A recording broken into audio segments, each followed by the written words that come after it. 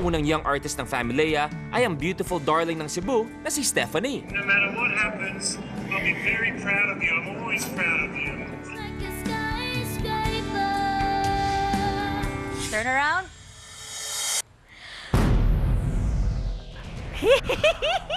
Sinong makakalimot sa napaka-cute na princess ng Batangas na si Bianca? Para sa inyo po to ni Daddy. Do you wanna build a snowman? Come on, let's go and play.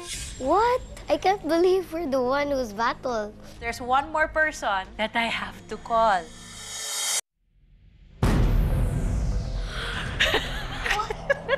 Isa rin sa mga pinag-agawan ng coaches ang little diva ng tondo na si Esa.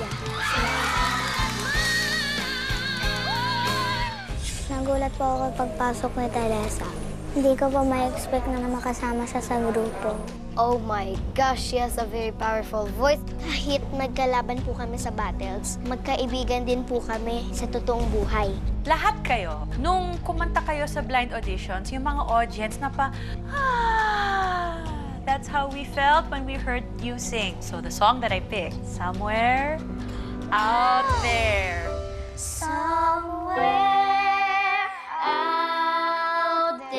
Natuwa naman po ako kasi po, maganda po siya, parang lalabay.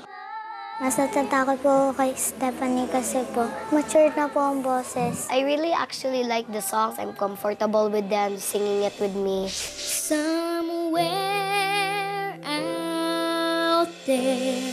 Esang, you're starting the song. Keep it light. Somewhere. Someone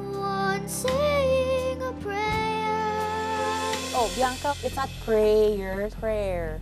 It helps to think we might be wishing on the same horizon. Let it be light. Huwag masyadong malakas yung tulak. Pero okay yung mga ginagawa mo for the rest of the song. Smile when you sing the song. Ay, yung minamahal mo, yun lang ang dapat isipin mo. Kinausap muli ni Coach Lea sina Esang, Stephanie at Bianca tungkol sa mga inspirasyon nila sa pagkanta. Sino yung mga inspirasyon ninyo when you sing this song? Yung lola ko po kasi po namatay po siya. Ang daddy ko po, nasa Qatar po siya malayo. Really? Minsan po, It's the same, Father. your dad. And where's your father again? China. I only see him for one month and then he goes away for three years. So ikaw, Esa, mamamatay lang ang lolo mo. Pagkanta mo nito, umiti ka dahil he's always watching over you and for the two of you. I know it's hard na kantahan ng isang tao hindi mo masyadong nakikita. But let them be your inspiration. Somewhere out there, out where. Because you're young, I want it to be as natural as possible. One tip I can give you, pag naka-on ang camera ng ganyan, when you're looking straight into it, pag nakatingin kayo, dito sa gitna, parang tinitignan nyo rin yung mata ng mga nanonood sa inyo. Now, kunyari ganito, parang sila mismo yung kinakausap nyo.